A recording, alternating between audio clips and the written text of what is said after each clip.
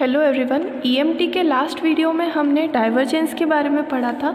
Divergence क्या होता है उसका हमने एक फॉर्मूला भी देखा था। Divergence of any vector is equal to limit D V tends to zero one upon D V integration of A dot D A ठीक है? यानी कि क्या था ये? कि जब हमारा वॉल्यूम एलिमेंट बिल्कुल क्या हो इन्फाइनाइटेसिमल स्मॉल हो, तब इसके सरफेस इंटीग्रल के सरफेस इंटीग्रल पर यूनिट एरिया के बराबर होता है उसका डाइवर्जेंस आज हम डाइवर्जेंस की वैल्यू कार्टिशियन कोऑर्डिनेट में फाइंड आउट करेंगे और देखेंगे कि इसके लिए हम क्या ऑपरेटर को यूज़ कर सकते हैं। न्यूमेरिकल्स के लिए हम इसका एक फॉर्मूला निकालेंगे ओके तो सबसे पहले ये हमने मान लिया, हमारे पास एक क्यूबॉइड है ओके जिसकी साइड्स ये वाली साइड जो है, वो है डी एक्स ये हो गई डी वाई और ये हो गई डी जेड यानी कि लेंथ ब्रेथ और हाइट क्या हो गई? डी एक्स डी वाई और डी जेड तो इसका जो वॉल्यूम हो जाएगा, वो क्या हो जाएगा? Length into breadth into height तो क्या हो जाएगा? D X D Y D Z ये इसके जो हमने रेक्टेंगुलर पीस लिया है, उसके वॉल्यूम की वैल्यू हो जाएगी।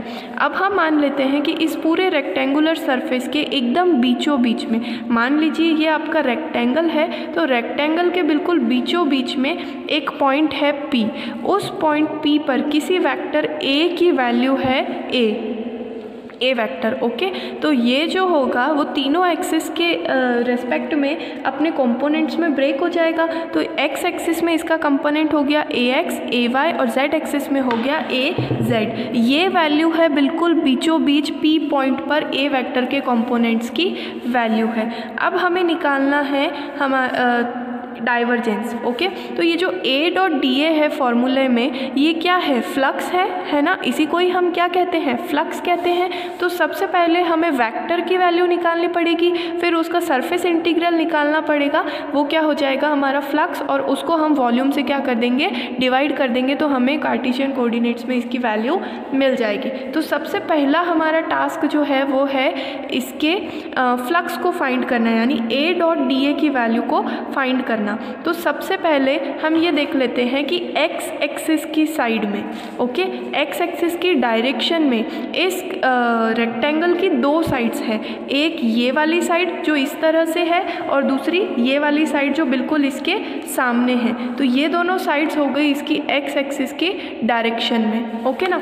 तो सबसे पहले हम देख लेते हैं कि इस वाली साइड पर क्या होता है। कौन सी साइड है ये? एल एम क्यू आर ठीक है? At side L M Q R तो सबसे पहले हमें जो वेक्टर की वैल्यू पता है, वो इस बीच वाले पॉइंट पर पता है। यानी ये जो डी एक्स डिस्टेंस है, उसके बिल्कुल बीचों बीच में पता है। लेकिन हमें वैल्यू चाहिए बिल्कुल इस पॉइंट पर। ठीक है ना? तो यहाँ से यहाँ तक की डिस्टेंस क्या हो गई?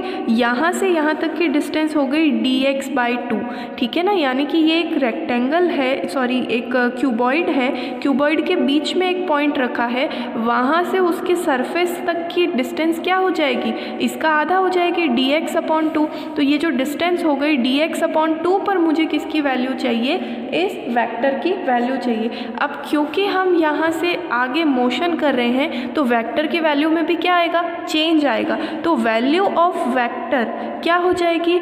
एक तो value of vector at initial point यानी आपका जो बीच वाला पॉइंट है प्लस चेंज इन वैल्यू ठीक है? चेंज इन ए वेक्टर इसकी वैल्यू में कितना हो रहा है? चेंज वो वाली चीज़ ओके ना? तो सबसे पहले इसकी वैल्यू हमें पता है एक्स एक्सिस की डायरेक्शन में इसकी वैल्यू कितनी है? ए एक्स अब इसकी वैल्यू में चेंज कितना हो रहा है, ये हम कैसे निकालते हैं? तो डेल ए इसकी वैल्यू में कितना चेंज होगा? तो इसको निकालने के लिए हम रेट ऑफ़ चेंज का फॉर्मूला यूज़ करते हैं। Rate of change is equal to change in value upon distance change in value upon distance और डिस्टेंस कितनी है? डी एक्स बाई टू तो इसकी वैल्यू में चेंज कितना होगा? Rate of change into distance अब रेट ऑफ़ चेंज क्या है? रेट ऑफ़ चेंज हो जाएगी आपकी D X sorry D A X यानी इसके कंपोनेंट में डिस्टेंस के रेस्पेक्ट में कितना चेंज हो रहा है। तो इसकी वैल्यू क्या हो जाएगी? Del A X upon del X ठीक है? और into D X by two और ये किसकी वैल्यू हो जाएगी? Change in the value of vector A rate of change into distance तो इस वैल्यू को अगर हम यहाँ पर अप्लाई करेंगे तो हमें क्या मिलेगा? Plus del A X upon del X into D X by two तो ये हमें क्या मिल गई? At surface L M Q R यहाँ पर हमें ए वेक्टर की क्या मिल गई? वैल्यू मिल गई। ओके अब हमें क्या निकालना है? फ्लक्स निकालना है। तो फ्लक्स क्या होता है? ए डॉट डी ए ठीक है? फ्लक्स क्या होता है हमारा? ए डॉट डी ए तो हमें इस चीज़ को जिस भी सरफेस की हम बात कर रहे हैं, उस सरफेस के एरिया से क्या करना पड़ेगा? मल्टीप्लाई करना पड़ेगा। अब इस सरफेस का एरिया ये एक रेक्टेंगुलर सरफेस है। इस क्यूबॉइड में ये एक रेक्टेंगुलर सरफेस है। तो इसका एरिया क्या हो जाएगा? Length into breadth okay sorry length into breadth तो इसकी लेंथ क्या हो गई? डी वाई और ब्रेथ क्या हो गई? डी जेड तो इसका जो एरिया हो जाएगा, वो क्या हो जाएगा? Area of this side is equal to length into breadth यानी कि D Y into D Z तो इस इस ए वेक्टर की वैल्यू को हम क्या कर लेंगे? इसके एरिया से मल्टीप्लाई कर लेंगे। तो हमें फ्लक्स की वैल्यू मिलेगी A X plus del A X upon del X D X by two into D Y D Z ठीक है? तो ये हमें वैल्यू मिली surface L M Q R के लिए। लेकिन एक्स एक्सिस पर मैंने आपको स्टार्टिंग में बताया कि हमारे पास दो सरफेस है, एक ये वाली सरफेस और एक ये वाली सरफेस तो इस सरफेस का क्या नाम है? के टी या फिर के टी एस एन इस सरफेस का क्या नाम है? के टी एस एन तो यहाँ से इस पी पॉइंट से इसकी डिस्टेंस क्या हो गई? अगर ये distance D X by two है और अगर हम उसके उल्टे में चल रहे हैं तो ये डिस्टेंस क्या हो जाएगी? Minus D X by two okay अगर मैं इसको क्या मान लूँ? ओरिजिन पॉइंट मान लूँ then this distance will be D X upon two okay? तो सबसे पहले हम ए वेक्टर की वैल्यू निकालेंगे। हमने ए वेक्टर की वैल्यू निकालना सीखा है ना? सबसे पहले वेक्टर की value at point P plus rate of change and then distance तो इस तरह से at side K T S N तो के टी एस एन साइड पर इसकी वैल्यू क्या हो जाएगी? वेक्टर की वैल्यू हो जाएगी A X plus change rate of change of vector into distance अब यहाँ पर हमारी डिस्टेंस कितनी है? Negative D X by two तो इसकी वैल्यू हमें मिलेगी A X minus del A X upon del X into D X by two और इसी साइड पर फ्लक्स की वैल्यू क्या हो जाएगी? हमें इसको इसके एरिया से क्या करना पड़ेगा? मल्टीप्लाई तो यहाँ पर इस साइड का भी एरिया क्या हो जाएगा? D Y into D Z तो इसको हम क्या कर लेंगे? डी वाई डी जेड से क्या कर लेंगे? मल्टीप्लाई इसको हम फाइव वन नाम दे देते हैं, इसको फाइव टू दे देते हैं. तो इसकी वैल्यू क्या बनेगी? A X minus del A X upon del X into D X by two into D Y D Z ये क्या हो जाएगी? फ्लक्स की वैल्यू अब फ्लक्स होता क्या है? टोटल एमर्जिंग फ़ील्ड लाइंस बाहर आने वाली टोटल फ़ील्ड लाइंस का नंबर जो होता है वो फ्लक्स होता है। अब एक्स एक्सिस के डायरेक्शन में एमर्जिंग आउट फ्लक्स की वैल्यू क्या होगी? यहाँ से तो फ्लक्स अंदर आएगा और यहाँ से फ्लक्स बाहर जाएगा। तो नेट फ्लक्स की वैल्यू क्या हो जाएगी? एमर्जिंग आउट होने वाले, बाहर आने वाले फ्लक्स में से जो फ्लक्स ऑपोजिट डायरेक्शन में अंदर की तरफ़ आ रहा है, उसकी वैल्यू को हम क्या कर देंगे? माइनस कर देंगे ओके तो हमें टोटल फ्लक्स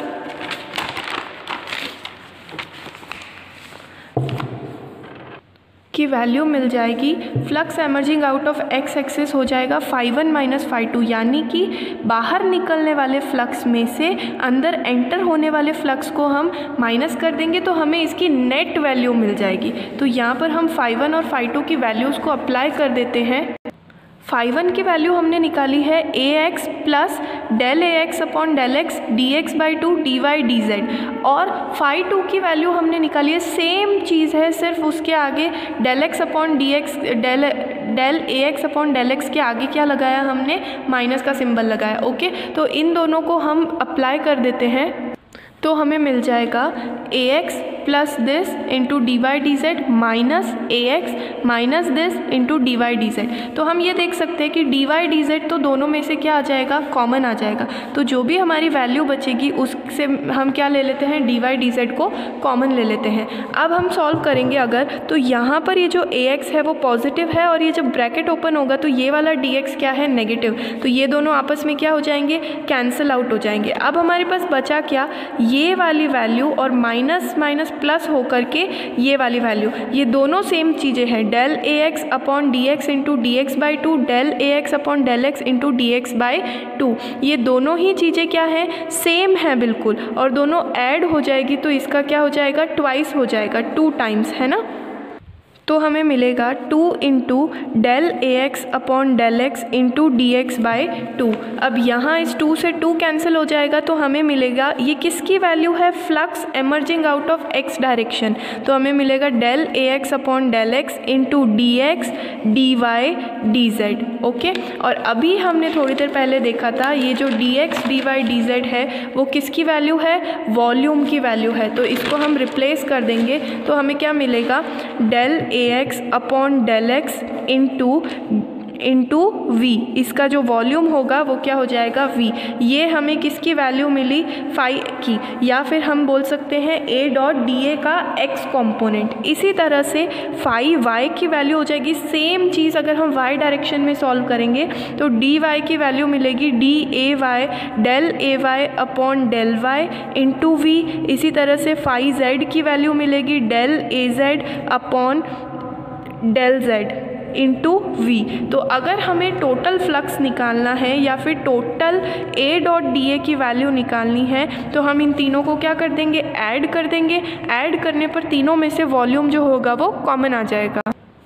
इसे हम अपनी इक्वेशन नंबर वन बना लेंगे। अब हम देखेंगे कि इसकी वैल्यू हम क्या निकाल सकते हैं। ओके तो हमने लास्ट कुछ वीडियोस में डेल ऑपरेटर की वैल्यू को निकाला था। डेल ऑपरेटर होता है I cap del upon del X plus J cap del upon del Y plus K cap del upon del Z तो अगर मैं इस डेल ऑपरेटर को किसी एक वेक्टर से डॉट प्रोडक्ट करूँ, है ना? इस डेल ऑपरेटर का मैं किसी वेक्टर के साथ क्या करूँ? डॉट प्रोडक्ट निकालूं तो मुझे क्या मिलेगा? I del upon del X plus J cap del upon del Y plus K cap del upon del Z और ए वेक्टर की वैल्यू क्या हो जाएगी? I cap A X plus J cap A Y plus K cap A Z तो जब हम dot product निकालते हैं तो I cap into I cap I cap dot I cap one हो जाता है जे कैप जे कैप भी वन हो जाता है के कैप के कैप भी वन हो जाता है। तो इसके साथ हमें ए एक्स मिलेगा del A X upon del X plus इसके साथ हमें ए वाई मिलेगा del A Y upon del Y और इसके साथ हमें ए जेड मिलेगा del A Z upon del Z जो कि किसके बराबर है? डेल डॉट ए के बराबर है। तो यही वैल्यू तो एग्जैक्टली हमें चाहिए थी। तो इसकी वैल्यू हमें मिली डेल डॉट ए तो इसको हम रिप्लेस कर देंगे तो इससे हमें मिलेगा integration of A dot D A या फिर बोल सकते हैं इसका flux will be equal to del dot A del और ए का क्या मिलेगा? Dot product into D V अब हमने डाइवर्जेंस का फॉर्मूला क्या पढ़ा था? डाइवर्जेंस का फॉर्मूला हमने पढ़ा था divergence of A is equal to limit D V tends to zero one upon D V into A dot D A तो इस चीज़ की वैल्यू को हमने क्या कर लिया है? कैलकुलेट कर लिया। अब हम क्या करेंगे? इसकी वैल्यू हमें ये मिली है, इसको यहाँ अप्लाई कर लेंगे तो हमें मिलेगा limit D V tends to zero one upon D V del dot A into D V D V से डी वी क्या हो जाएगा? कैंसिल हो जाएगा। तो हमें डाइवर्जेंस की वैल्यू मिलेगी। Divergence of A is equal to del dot A यानी अगर हमें किसी चीज़ का डाइवर्जेंस निकालना हो तो हमें उस वेक्टर को, ये जो डेल ऑपरेटर होता है, इस डेल ऑपरेटर से उसका क्या निकालना पड़ेगा? डॉट प्रोडक्ट निकालना पड़ेगा। तो हमें उसका क्या मिल जाएगा? डाइवर्जेंस मिल जाएगा। अब हमारा नेक्स्ट टॉपिक है गॉस डाइवर्जेंस थ्योरम। जो गॉस डाइवर्जेंस थ्योरम होती है, वो सरफेस इंटीग्रल को वॉल्यूम इंटीग्रल में या वॉल्यूम इंटीग्रल को सरफेस इंटीग्रल में चेंज करने के लिए यूज़ होती है ओके तो गॉस थ्योरम को सबसे पहले हम डिराइव कर लेंगे और फिर देखेंगे कि इसका स्टेटमेंट क्या होता है। तो सबसे पहले हम लेते हैं सरफेस इंटीग्रल यानी कि ए डॉट डी ए ये क्या है हमारा? किसी भी वैक्टर का सरफेस इंटीग्रल तो अगर हम, जो भी हमारा वॉल्यूम है या जो भी भी हमारे पास, जैसे हमने इस केस में क्यूबॉइड लिया था तो उस क्यूबॉइड के वॉल्यूम और उसके सरफेस एरिया को हम क्या करें? छोटे छोटे पार्ट्स में डिवाइड कर ले, ठीक है ना? कंपोनेंट्स में डिवाइड कर ले। तो जो टोटल सरफेस इंटीग्रल होगा, वो समेशन ऑफ़ ऑल कंपोनेंट होगा, है ना? यानी कि जो ए डॉट डी ए है, उसके सबका क्या हो जाएगा? समेशन हो जाएगा, ठीक है? अब हमने इसकी वैल्यू निकाल ली थी।